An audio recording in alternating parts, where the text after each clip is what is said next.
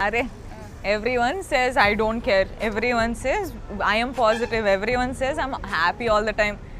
You go home and see, everyone will be depressed as hell in their lives. But then we are like human beings, no? They're never happy with what they have. They always want something more. There's no point in being sad. There's no point in being depressed.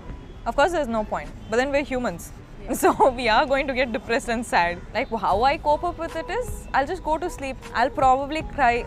I'll cry. I'll cry. My pillow will be so wet. But in the morning I'll wake up and I'll be like, Arey yaar, today I have so much work to do. Chalo, let me go get done with it. If you don't have failure, how do you know that you're improving? Like few films of mine which haven't worked so well, I'm like, good that I'm feeling like this for this film because when I actually get like one 100 crore film or 200 crore film, I can I can be like, Arey mast yaar, like this is what it feels.